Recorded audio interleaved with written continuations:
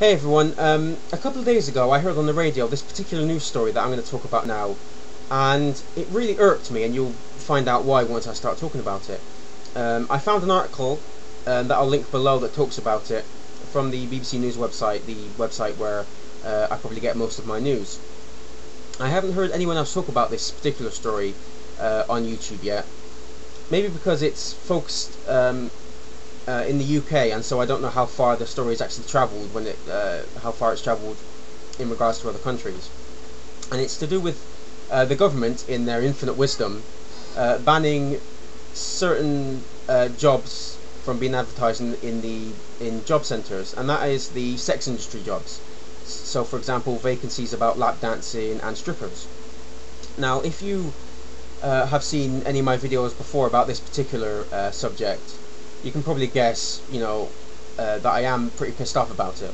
And I'm just going to take a couple of choice quotes from the article and just just to show you how absurd the government's thinking is on this.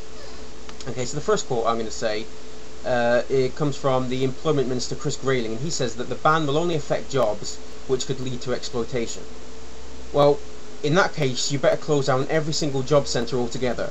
In fact, let's just close down the whole jobs industry because every single job is exploitative to some degree.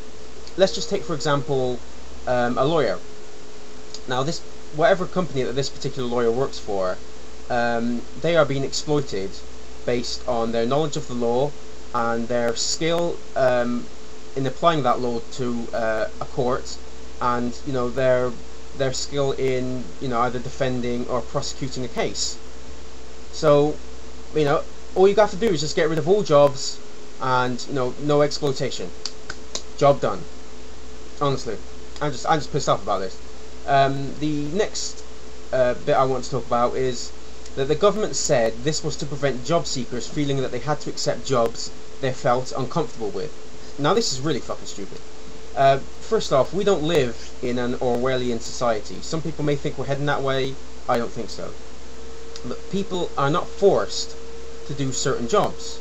However, how many people out there do you think do jobs just for the money? You know, they may not like what the job entails, but they keep at it because the money is excellent. Now, how many people do you think? Fucking loads! You know, and I'm not just talking about stripping here.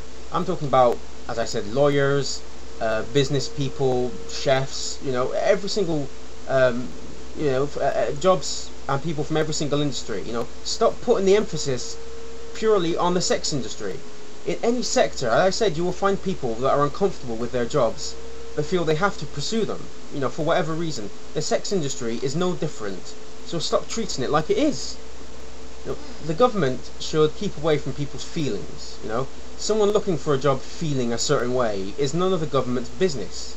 If someone feels like they want to make some fast money, then you know, the government taking away strippers' vacancies from job centres isn't really going to stop them and then but then you may say, you know, what's the problem? Well, the problem is that the sex industry is being held to a different standard to other jobs when it shouldn't be. Um, if someone accepted a job they felt uncomfortable with for whatever reason, then shouldn't they be allowed to? Unless, of course, um, you know, they're being forced to, you know, against their own will by someone else. And aren't we aren't we free to make our own choices, even if other people think they are bad ones, and even if they do turn out to be bad decisions? I mean, you know, the, the, the famous quote, to err is human. You know, we are humans, we make mistakes, and I am of the teaching that we should be allowed to make mistakes.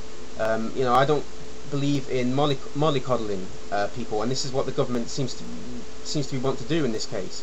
Um, I'm not saying becoming a stripper or a, a, lap, a lap dancer is uh, is a mistake by any means, by any stretch of the imagination, but we should be free to make decisions uh, in all aspects, in all areas of our lives, um, that may or may not turn out to be a negative influence because it's how we learn not to make the same mistakes again and it's how we grow as a person you know and, and then hopefully that'll um, be helpful to society as a whole as well.